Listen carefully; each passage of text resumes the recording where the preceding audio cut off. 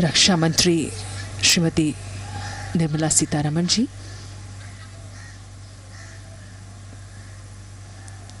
अटल बिहारी वाजपेयी जी को श्रद्धांजलि अर्पित करते हुए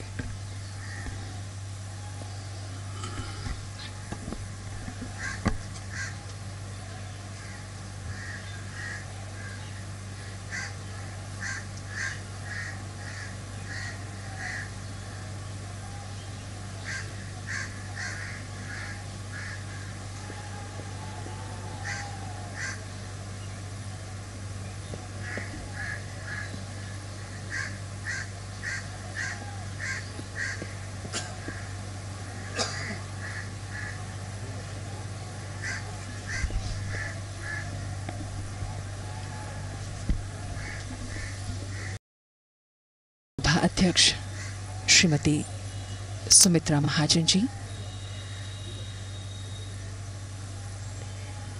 जिनका बहुत लंबा समय अटल जी के साथ उनके सानिध्य में बीता, अपने श्रद्धा सुमन अर्पित करते हुए।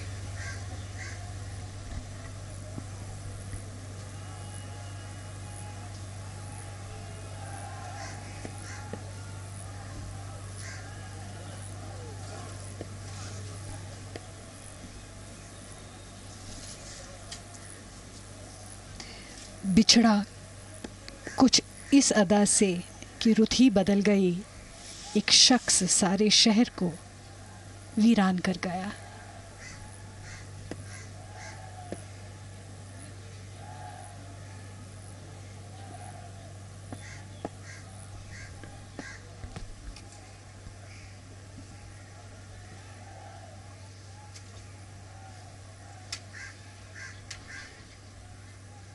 छोटे मन से कोई बड़ा नहीं होता।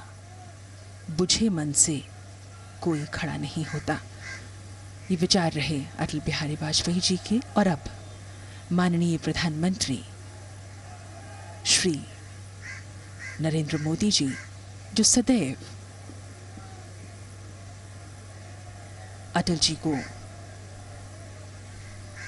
पिता तुल्य, पिता के समान मानते रहे, उनका आदर करते रहे।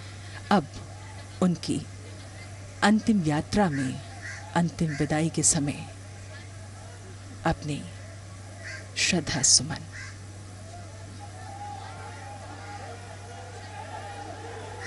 अर्पित करते हुए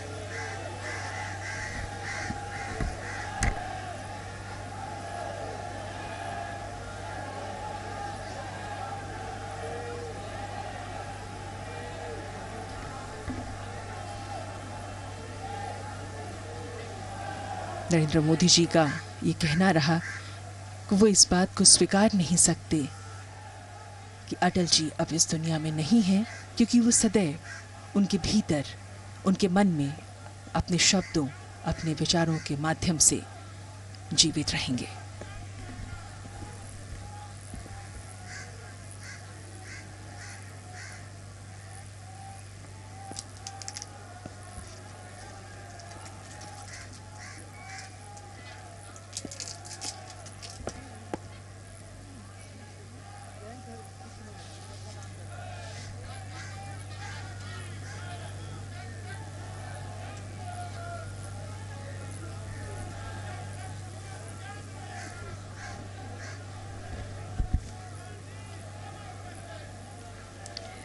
We see the former Afghanistan president, Shri Hamid Karzai, various other foreign dignitaries who are present here.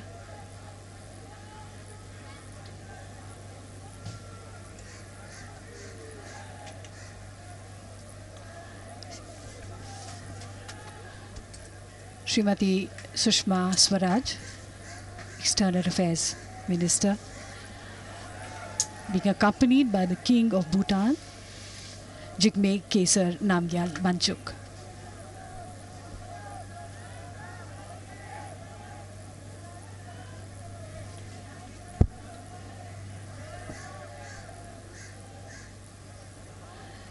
These are as personal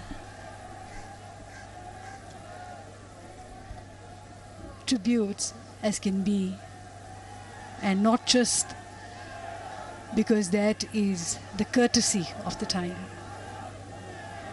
These are people who have had personal relations, a personal connect with Atal Bihari Vajpayee during his tenure as the External Affairs Minister. He broke new, new grounds in diplomatic relations with people across the world.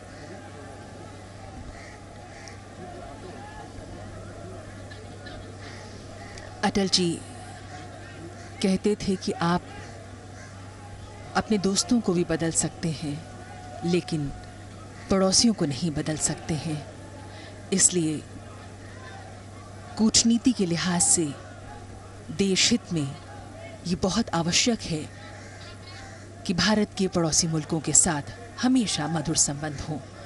और जैसा कि हम देख सकते हैं, भारत के उपराष्ट्रपति Shri M Venkaiah Naidu ji, जिनकी अटल जी के साथ बहुत अंतरंगता रही, वो इस समय उनकी अंतिम यात्रा में उन्हें अपने श्रद्धा सुमन अर्पित करते हुए। व्यक्तिगत क्षति जैसा कि माननीय उपराष्ट्रपति जी ने स्वयं कहा अटल जी का जाना।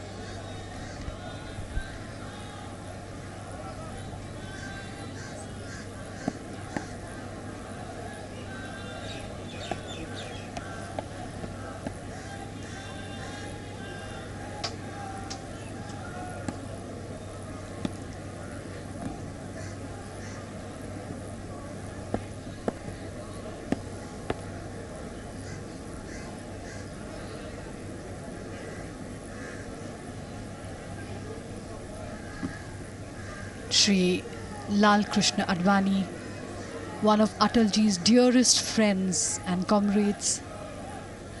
They began their political journey together, but they were also dear friends. They shared a great love for food, for music, for movies. A very, very difficult time for every person who's had a personal connect with Vajpayee.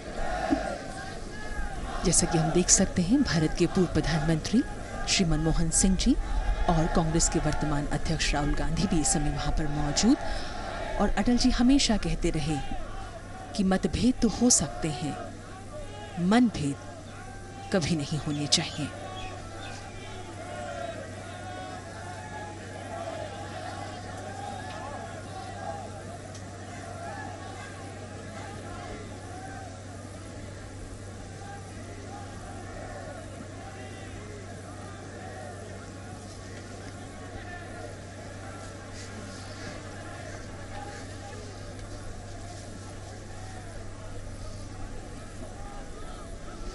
Vinod प्रिय व्यक्तित्व के धनी, अटल बिहारी वाजपेयी जी, जो अब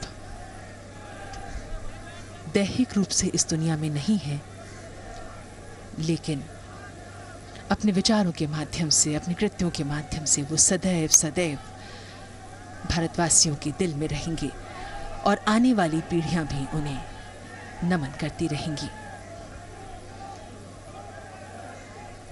विनोद प्रिय व्यक्तित्व की दृष्टि से बात करें तो एक घटना यूँ याद आती है कि तत्कालीन प्रधानमंत्री श्रीमती इंदिरा गांधी ने एक बार उनसे कहा कि जब वो बोलते हैं, अपना संबोधन देते हैं तो हाथ बहुत हिलाते हैं। तो अपनी वाकपटुता के चलते अटल जी ने तुरंत जवाब दिया और बोले, आपने देखा है किसी नेता को पाँव चलाते हुए? सबके साथ। वही समरसता, वही मधुरता, ऐसे थे अटल जी और हम देख सकते हैं, माननीय राष्ट्रपति श्री रामनाथ कोविंद जी, वे भी स्मृति स्थल पर पहुँच चुके हैं।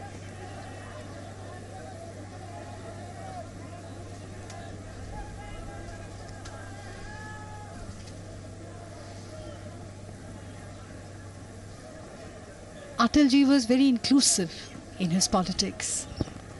He had friends across the political spectrum. And he would say, if India is not secular, India is not at all.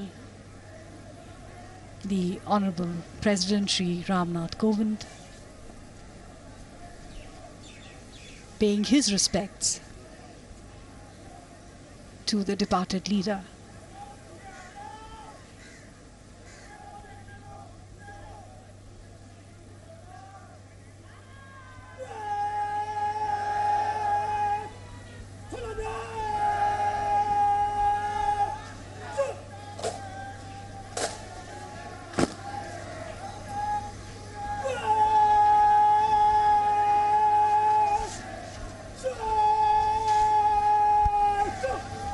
राष्ट्रपति जी श्रद्धा सुमन अर्पित करते हुए।